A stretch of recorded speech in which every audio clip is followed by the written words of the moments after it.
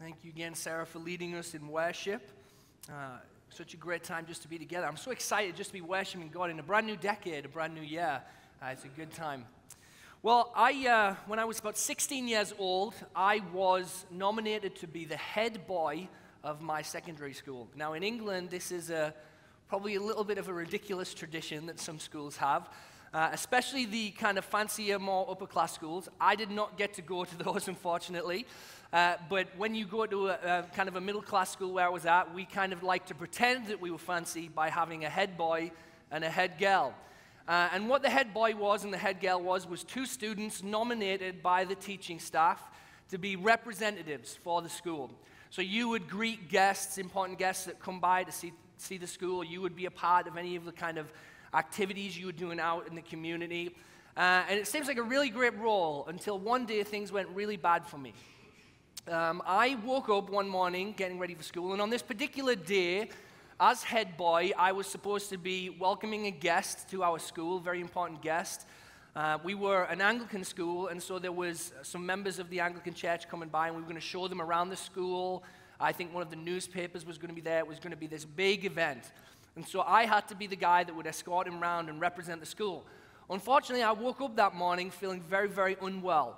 Um, and I wasn't a good kid, and so I had often lied to my mother about when I felt unwell. And so I came downstairs and said, Mom, I do not feel good. I'm feeling hot, I'm feeling weird, dizzy.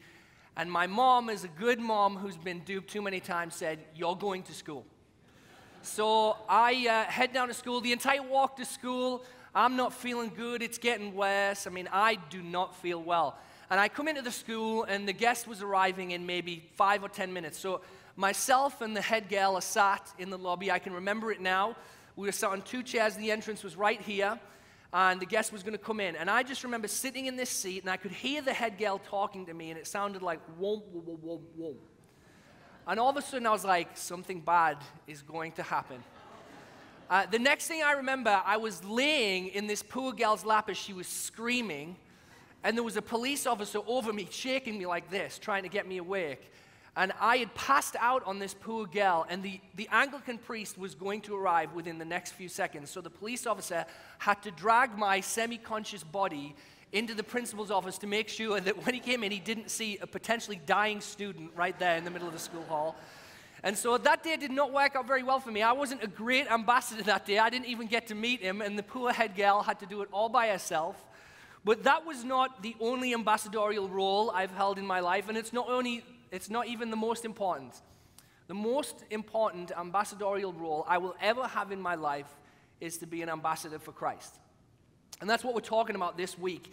You see, we are all of us in Christ, those who follow Jesus, who love Jesus, are called to be ambassadors for Christ. We are called to be representatives of the one who has saved us. Last week we left off in this little two week exploration of 2 Corinthians 5 and we were looking to begin with how all those in Christ are a new creation, that the old is gone and the new has come. That when we place our trust in Jesus, he makes us new. But it goes on to say a lot more than that. Here's what our passage says if we go back 2 Corinthians 5 17 through 21 reads this Therefore, if anyone is in Christ, he is a new creation. The old has passed away. Behold, the new has come. All this is from God who through Christ reconciled us to himself and gave us the ministry of reconciliation. That is, in Christ, God was reconciling the world to himself, not counting their trespasses against them, and entrusting to us the message of reconciliation. Therefore, we are ambassadors for Christ, God making his appeal through us. And we implore you on behalf of Christ, be reconciled to God. For our sake, he made him to be sin who knew no sin, so that in him we might become the righteousness of God. We began by talking, and we hopefully always begin by talking about how Jesus is God's Son sent to reconcile us to himself, that he's the one who has loved us and given himself for us, and in doing that, he's made us new. Everything about us totally changes. And this week, I want to talk about two verses on the end of this passage that kind of encapsulate an idea that we don't always think about enough. That the gospel is not just about us being saved and being made new, but it's also about us being called. The gospel is not only about Jesus coming to forgive us, it's about Jesus coming to call us. And we're going to think about this idea. What is the goal of the Christian life? What is the goal? There's a lot of ways we try and answer that question. Is it to get to heaven one day? Is it to make our lives look a little bit better? To tidy ourselves up? To be better people? More respectable, decent, selfless? Is it to gain better insight about creation? To understand the value of all things and all people? To be a more enlightened person? All of these have an element of truth in them. All of them have little bits, but these are not the goal. This is not the goal of the Christian life. They are a part of the Christian life, but not the goal. The goal is told to us in verses 20 and 21. This is what it says. Therefore, therefore, meaning that everything that Jesus has done thus far, reconciling us to himself, bringing us to God, therefore, we are ambassadors for Christ. God making his appeal through us. The goal of the Christian life is not to get into heaven, it is to be restored to a relationship with the Father so that you can live out a message and a life of reconciliation.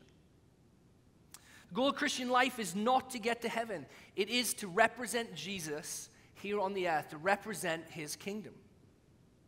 That's the goal. And so we're going to look at that goal in two ways this morning. First, through Paul's phrase, the righteousness of God. And then, secondly, through his phrase, ambassadors for Christ. And we're going to be a little bit odd about it this morning because we're going to go through this passage in reverse, starting with 21 and then moving to verse 20. Because I think when we go through the passage and we take a closer look that way, we will see that we are not only recipients of grace, but we are messengers of grace. That this is the goal of what Jesus has done. This is why he has changed us, why he has rescued us, why he has loved us. So, first, let's talk about the righteousness of God. The righteousness of God.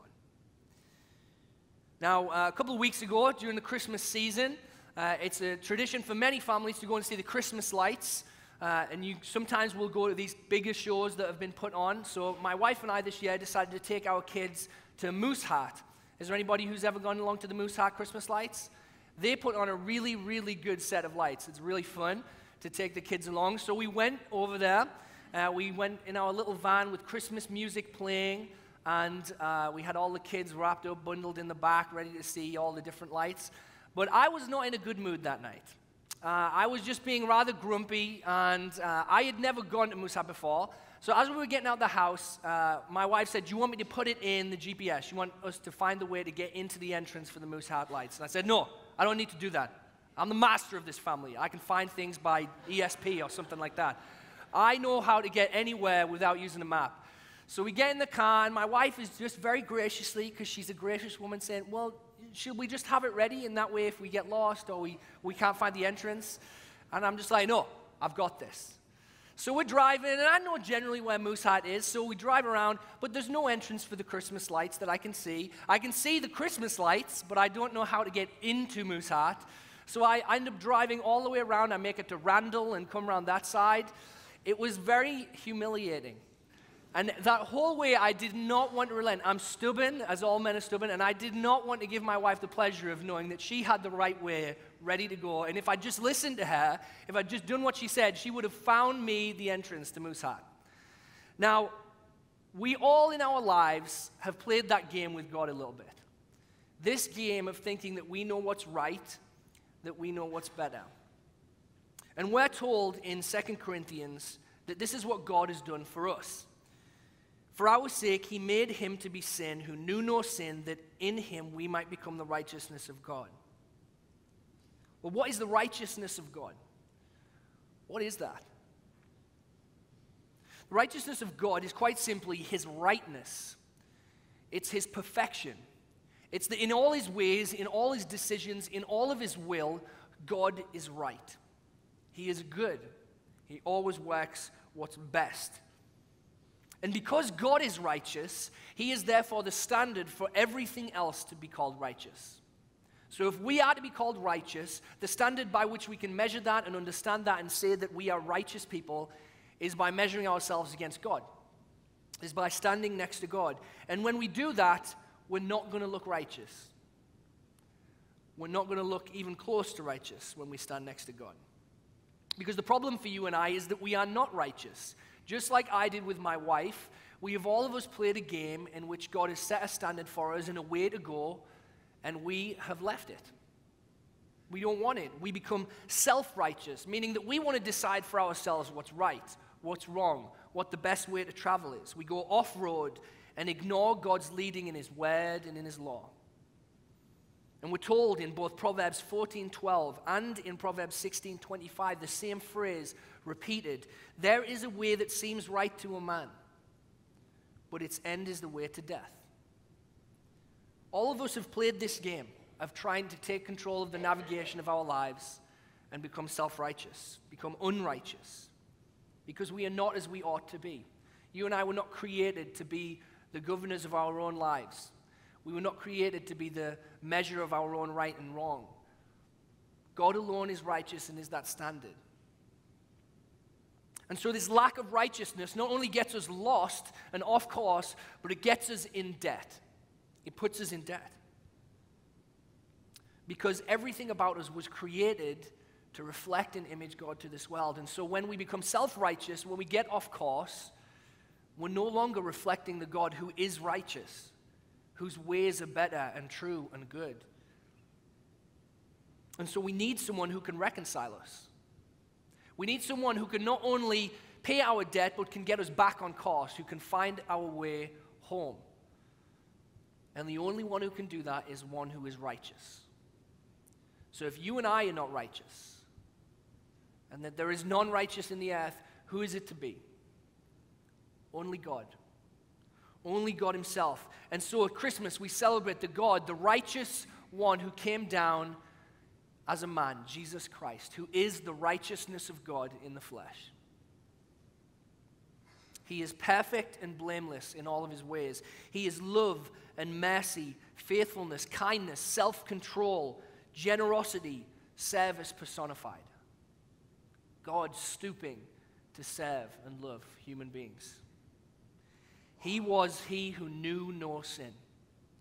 That's what this passage is referring to when it says, God made for our sake him who knew no sin to be sin for us. Jesus, the one who was God's righteousness. And at the cross, he went and he tra- made a trade.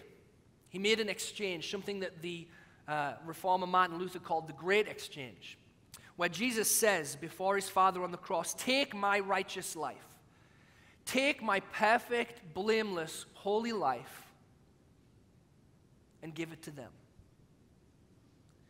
Everything I have ever done to uphold your righteousness, Father, everything I've ever done to obey you and serve you and love you as you deserve in righteousness, give that to them.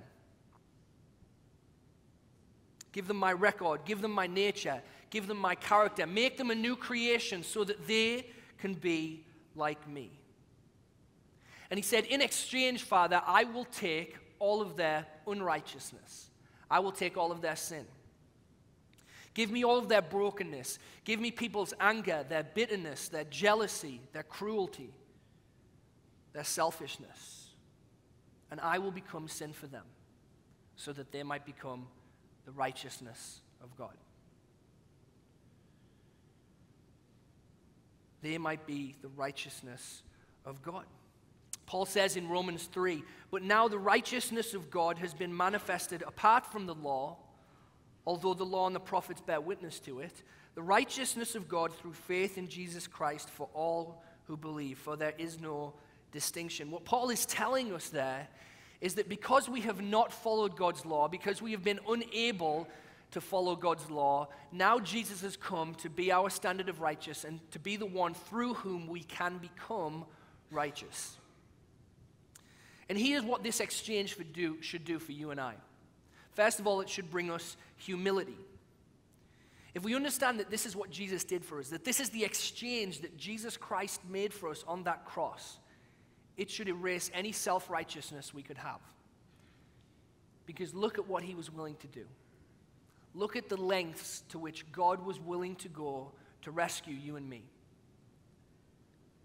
Unbelievable lengths, painful, lengths out of love and mercy and grace. He hung on a cross for you and me so that it would melt away any sense of self righteousness we have because we would scarcely die for a good man, whereas Christ died for sinners. It'll also bring us to praise. Because when we see this, someone loving us so spectacularly, someone so willing to give his life for us, how can that not make us sing? That's why we sing in church, that's why we worship, is because we shouldn't be able to hold it in. We shouldn't be able to restrain ourselves from wanting to tell people about this amazing God who is doing above and beyond to love us and rescue us, to redeem us and bring us back, to pay our debts. And lastly, it should bring us to relationship. Because if you have ever wanted to know how God feels about you and who He is and what He is like, you need look no further than the cross. That is who God is. That man hanging and dying and rising again for us, praying for his executioners that God would forgive them. That's who God is. The Bible tells us that Jesus is the radiance of all of God's glory, the exact imprint of his nature. When this exchange happens, we see who our Father in heaven really is. So, if this is what all this was for, that we might become the righteousness of God, if God's reconciling work was to bring us to Him, that we might become the righteousness of God, then what does that mean for us in our daily lives? How do we live that out? Well, this is why Paul talks about ambassadors for Christ. There's a picture here of Nikki Haley, who is our second most recent uh, ambassador to the United Nations, I think. Do we have? There we go. There we go. This is Nikki Haley. She, uh, again, was the second most recent ambassador to the United Nations. And whenever I think of an ambassador, I think of someone like Nikki Haley, uh, someone who represents our nation to the rest of the world, that goes and speaks on our behalf, that represents the plans of our nation, the hopes of our nation.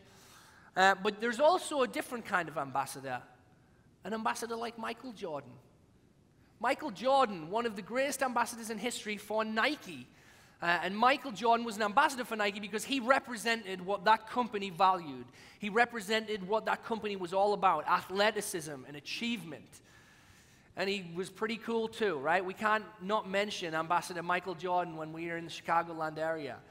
And Michael Jordan was so committed to this that what the deal that you make when you become an ambassador for an organization like Nike is you commit that you are going to wear all of Nike's things you are not going to wear anybody else's. You are going to talk about Nike. You're going to live and breathe Nike. If anyone comes into contact with you, they're going to make sure you're going to make sure that they know about Nike. And that's what Michael Jordan did in excess. Is he put Nike on the map, right? He created brands for them. He made all kinds of money for Nike out of representing them. Now, when we think about ambassadors, there's a lot of ways we can think about it, but I want to think this morning a little bit about how Michael Jordan did his ambassadorial work. This dedication he had to representing the brand that was behind him, to representing the one who'd commissioned him to be their ambassador. Because all of us, like Michael Jordan, should be devoted and committed and excited about the one who we represent. We should be the kind of people who everything we say, everything we do, is an intentional representation of the one who's loved us and saved us. See, an ambassador isn't limited by 40 hours a week. They're not limited by certain circumstances and certain places. It is who they are. An ambassador is always on call representing the king. Here's what Paul tells us in verse 20 Therefore, we are ambassadors for Christ, God, making his appeal through us. We implore you on behalf of Christ, be reconciled to God. If we were to stop any kind of message we have at church at the fact that God has saved us and rescued us and loved us. That would be a spectacular message in and of itself, but it would also be a half gospel. It would be half the message. Because He has not reconciled us to stand still, He's reconciled us to go out, to represent. And this is where the rubber meets the road in the Christian life. This is the goal of the Christian life. Paul says, therefore. If God has done this. Therefore, we are ambassadors for Christ. If God has entrusted us with the message of reconciliation, if He has made this amazing exchange on the cross, then that means our lives need to change. If we are a new creation, then by default we should look different, we should live differently. And I think it me- means we should live a life that's different in three ways. First of all, a life that's incarnational. A life that's incarnational. Incarnation literally means to embody in the flesh. And Christ was God in the flesh. That's why we call it his incarnation, because God came in the flesh. He embodied himself within the person of Jesus Christ. And now, as ambassadors for Christ, you and I are God's kingdom in the flesh. Everything that He has long desired for, everything that He has planned for from the first day of creation, from before creation, that's now in us in the flesh. We all of us have a ministry to complete. We all of us have been called to go and live out God's kingdom. So that when people look at you and me and they look at all of our flaws and our brokenness, and then the grace that God has applied to that and the way that God has loved us through that, and most importantly, the way that God is changing us from that, that they will see the kingdom of God living, moving. Paul Tripp, one of my favorite pastors, says that we should always ask ourselves this question How can I best represent the king in this place with this particular person? Every conversation we have, every interaction we have, how can I best represent the king in this place with this particular person? Is that how you think about your life as a Christian? Is that how you think about the goal of your life as a Christian? How can I best represent the king in this place with this particular person? Is representing Christ to the world something that you clock in and clock out of? That there are slots within your life that you make an intentional effort to share the gospel, to serve people, to love people, but there's always that point in which you clock out and take care of some other things and slide that to the side. Is it making its way into your family, your extended family, your friends, your co workers? Are people around you seeing the kingdom of God at work? And I want to be very, very careful to say we're not talking about perfection here. The kingdom of God, the righteousness of God, is that He has made sinners righteous. And so yours and I's flaws, so long as we bring them to Christ and elevate Christ, can actually be a way that we can show the world God's grace. Not because sin is okay, but because Jesus has dealt with that.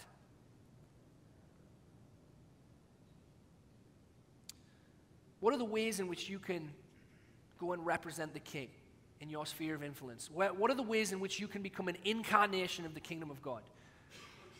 Is it the neighbors next door on your street? Is it simple things like creating baskets for them, caring for them, for those in need? being a part of a ministry here at Chapel Street Church, although certainly that is not a limit or the end all of what it means to be a representation of Jesus. And in fact, I could ask you a whole set of questions about ways that you could perhaps think about being an ambassador, but I'm willing to bet that you all have much better ideas than I do. When you look at the gifts that God has put within you, the skills, the talents, the passions, and excitements, then you will find a way that you are called to be a representative of the kingdom of God on earth. Because it's not about Christian decorations, it's not about looking good on the outside, it is about a change within us towards other people. Christmas time, we all get gifts and we leave them under the tree wrapped up, get excited to open them. But if we never opened them, we'd never see the good stuff that was inside. Well, that's kind of what the grace of Jesus is like. It's been given to us, and now it's time to unwrap it. Now it's time to open up those boxes and let the world see what's inside of them. Secondly, being an ambassador for Christ means that we will live a life that is Christ centered. What do we mean by Christ centered? Well, we mean to ask this question Is the life that you're living more about your kingdom or God's kingdom? Is it set on Christ? Does it revolve around Christ? Is He the end all of everything that you are doing, or is he one thing amongst many? See, we all struggle to represent Christ in the flesh 24 7 and to be on call as an ambassador for Christ 24 7. But that's usually because we want to make time to be an ambassador for our own kingdom as well. We want to represent our values. We want to dip right back into that self righteousness that was there before Christ saved us and say, well, maybe this is what's good for my life. Maybe this is what's good for other people's lives. Here's what it looks like to be an ambassador for your own kingdom. You spend most of your time with the type of people that you like to be around. You don't want to be around people that make you uncomfortable, think differently than you, have different struggles than you. You keep yourself safe from experiences that might be difficult or outside of your comfort zone. I don't really want to serve with these people because I don't really know how to do that. I don't really want to give my time to this cause because I don't have a passion for that.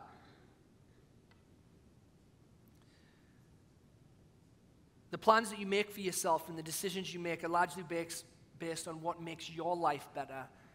And it's got this self centered goal rather than an othered goal. But God's kingdom is better than our kingdom. And so, God, in His amazing love, is often going to disrupt our kingdom, take us off our throne, and set us towards His kingdom because He's got something better. But the glory of the gospel is that God's kingdom does more for us than any of the things that we could build in our own kingdom. We'll find more joy in it than we can ever find. The disruptions and the discomfort don't have to be barriers to your joy and your passion. Serving in a ministry that doesn't feel like your ministry, that's hard for you, doesn't have to be a barrier to joy. They can be a doorway to it. They can be a doorway to you knowing Jesus better. And they can absolutely 100% be a doorway towards others knowing Jesus better too. Listen to Paul's words and he says, I want you to pray in Ephesians, and also for me, that words may be given to me in opening my mouth boldly to proclaim the mystery of the gospel, for which I am an ambassador in chains, that I may declare it boldly as I ought to speak. Chains are a pretty inconvenient thing to have, and I'm willing to bet that Paul had a very hard time being an ambassador for Christ while sitting in a cell. But he nevertheless was committed and devoted to it, to represent the king to ask the question how can I best represent the king in this particular place with this particular person? And lastly, the life of an ambassador is inviting. Paul says in this passage in verse 20, We implore you, on behalf of Christ, be reconciled to God. That is the invitation. That is the call of an ambassador of Christ. We implore the world to be reconciled to God. The best way I can tell this story is through the story of my sister. Uh, my sister is a woman that I deeply admire and look up to, a woman who loves Jesus and is one of the best ambassadors for Christ I've ever known. When she was a very young girl in a family where not a lot of us knew Jesus, uh, she came to know the Lord. And she set about making her life about others. So, to the point where, in a country where there was not many Christians doing this, there was not many people doing this, she decided that she was going to spend her first year of college working with a Christian organization called Oasis to spread the gospel amongst people in Manchester. And I remember thinking, as I'm a lot younger than her, watching that and thinking, why would someone want to spend that time telling other people about Jesus? But it wasn't just big things that she did like that, it was little things. It was the way that she chose to spend time with me talking about Jesus. It was the ways in which she spent time seeking to help me and show me grace and love me and serve me, even though I was an annoying little brother. There was many things that she did. There was one point where an American missionary came over from the United States, the man who became my mentor, and because he had nowhere to live, my sister and my brother in law decided because they were representatives of Christ, because they were seeking to find the best way to represent the king in that particular moment to that particular person, they decided to let him and his friends stay rent free in their home so that he could focus on serving and loving others and they could care for him. And so often, a time when I tell my story, I talk about my mentor, Toby, who helped me come to know Jesus. But really, behind Toby was someone who was willing to be the representative of the king to him, so that he could be the representative of the king to me. Because of my sister's choices, because she chose to be a representative of the king, and ask herself the question how can I best represent Jesus to this world? Here I stand. And here you stand because of someone else who chose to be an ambassador.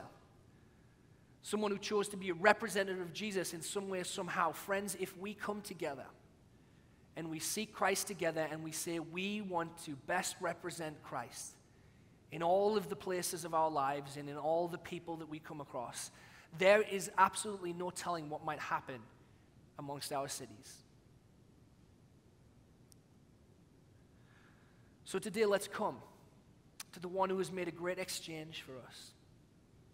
Let us serve him and love him, and let us represent him to everyone around us. Would you pray with me as we come to worship? Father, thank you for the great exchange that you made on the cross on our behalf. Thank you for your great love for us that has redeemed us and reconciled us and made us the righteousness of God. And Father, now I pray and I just like Paul, implore that you would make us ambassadors that serve you and ask the question how can we best represent you in this particular place to this particular person? We pray in the name of Jesus. Amen.